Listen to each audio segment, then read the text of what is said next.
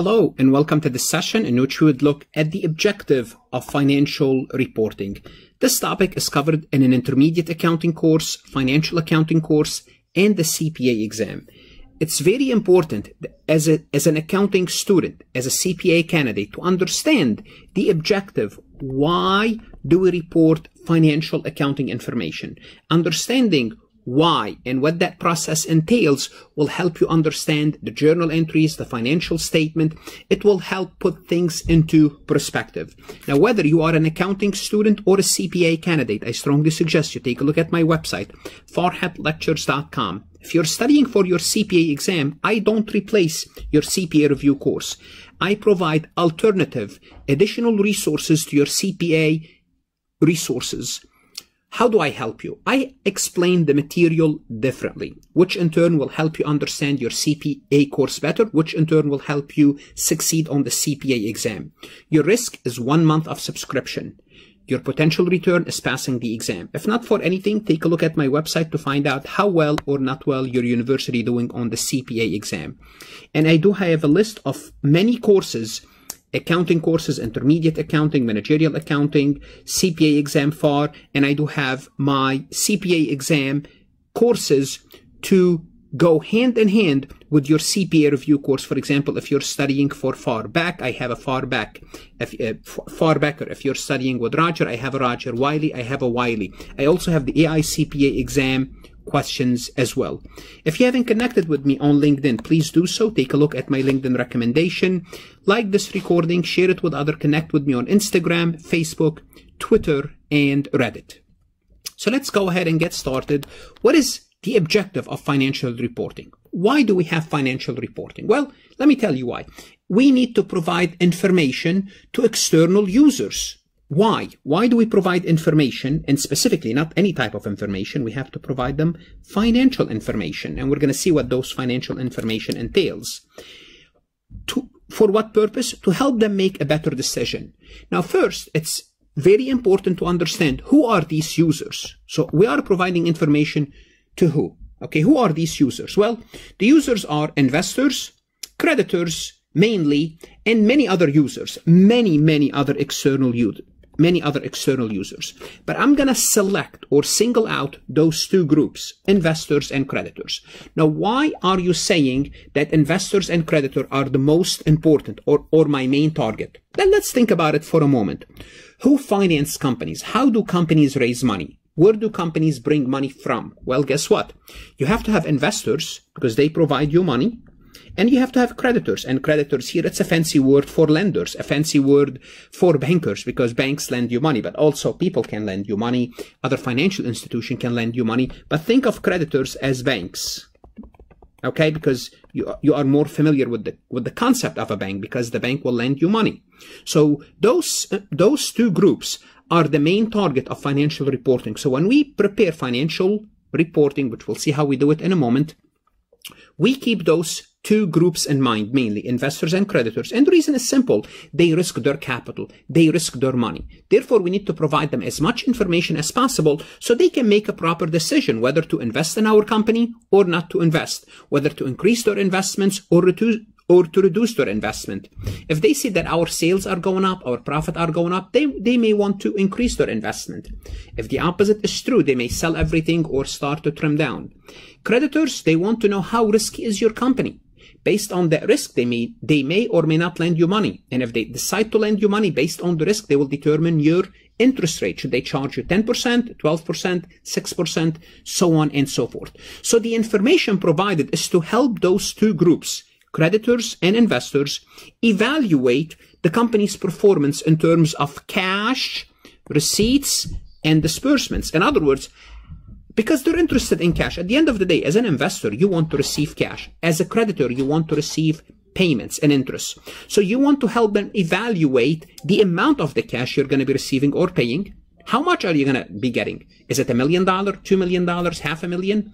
When are you going to get this money? Are you going to get it in six months, three months, three years, 10 years? Because it makes a difference. Because as an investor, you have to have a time horizon for your investments. Also, the financial information will provide them information about the uncertainty of that cash. Uncertainty is the risk. Are you really going to be getting this money or not?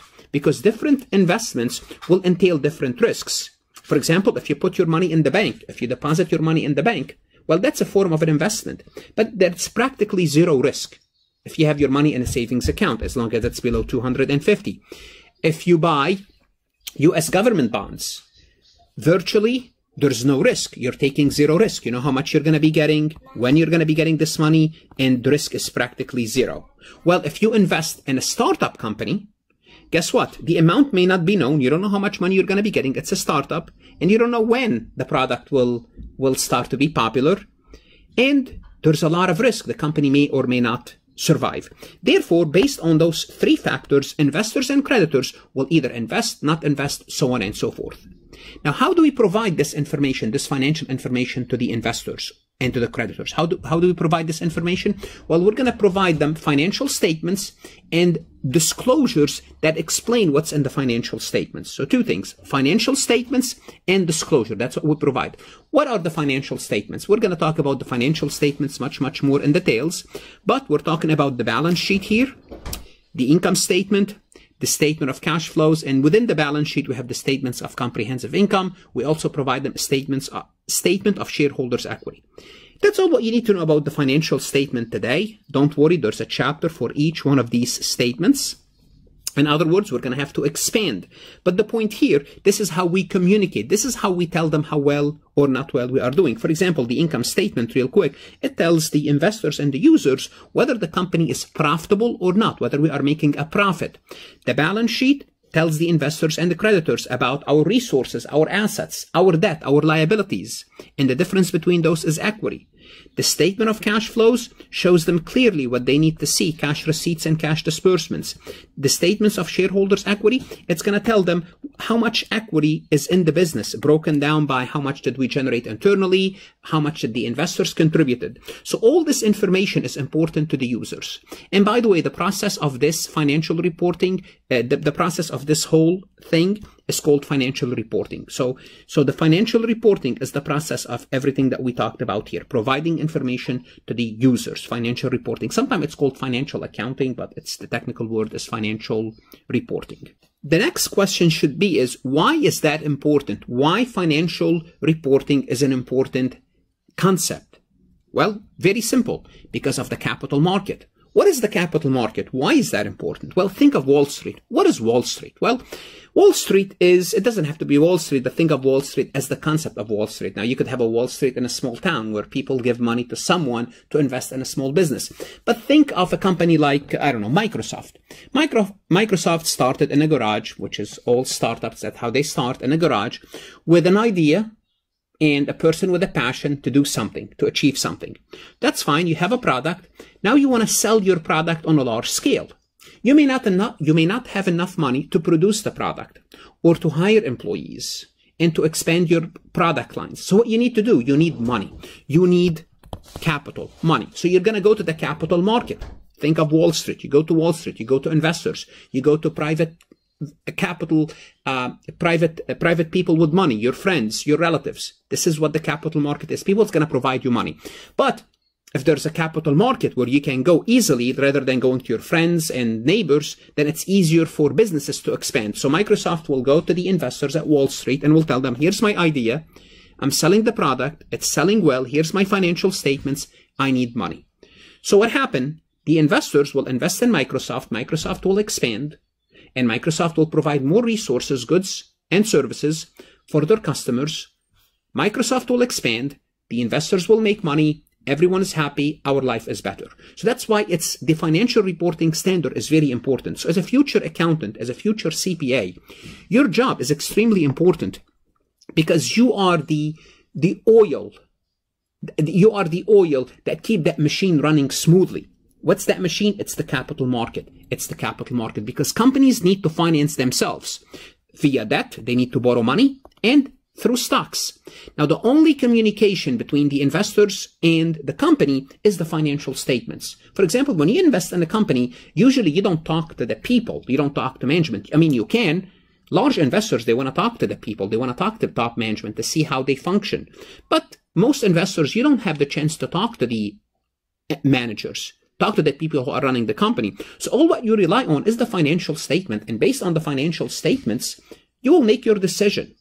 So that's why it's very important that this process is taken seriously. As a future CPA, you're going to be preparing financial statements for large and small companies. So take your job seriously because investors want to earn a return. Return on what? Return on resources provided. What do they provide? They provide you money. And how would they earn that? Re- how do they earn that return? Two things. They could they they could either receive dividend as the company makes a profit. Dividend is the amount that's distributed to the owners, or the investors might buy the stock, might buy shares in the company, then sell it at a later date at a higher price. And those two, dividend and capital gain, is the what we call the rate of return. This is how we measure the rate of return. Now, if you are a creditor, you would receive interest payment. Interest payment is measured as how much should you receive. For example, if you give them a thousand dollar and they gave you fifty dollars back a year later, well, your, your rate of return is 5%. That's your interest rate. So let's take a look at how do we compute this rate of return. Assume an investor provide a company with $100,000 cash by purchasing a stock at the end of year one. They receive 4,000 in dividend from the company during year two, and they sell their shares at the end of year two by 106,000. So if I ask you, how much did that investor earn? What's the rate of return? Well, they invested initially 100,000. They earned $4,000 in dividend, plus they sold it, they sold the stock at $6,000 more, at $6,000 more. So they earned $10,000 for that year and they invested 100,000 10,000 divided by 100,000, that will give them a rate of return of 10%. And let me tell you something, the person that invested $100,000 in Google is a multi-billionaire now. Okay, so that's why you, you take a risk, you invest, and you hope you have a return. Let's take a look at another example real quick. Adam purchased 200,000 worth of Wildwood stock, received four quarterly dividend of 1,000, therefore it means they received $4,000 for that year, and sold the shares for 206. It means they made an additional $6,000 because they bought it at 200, they sold it at 206. So this is the capital gain and this is the dividend. Now they invested in total 200,000 so 10,000 divided by 200,000, and we're assuming here is we are within one year. That should be 5%, and that's the rate of return. Now, which one would you prefer? Would you prefer the first investment or this investment? You'll prefer the first investment. The first investment gave you 10%. This investment gave you 5%.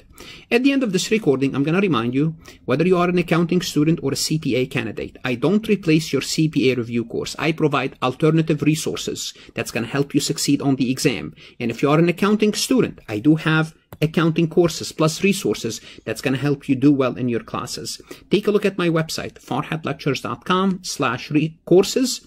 Study hard, good luck, and of course, stay safe. The CPA is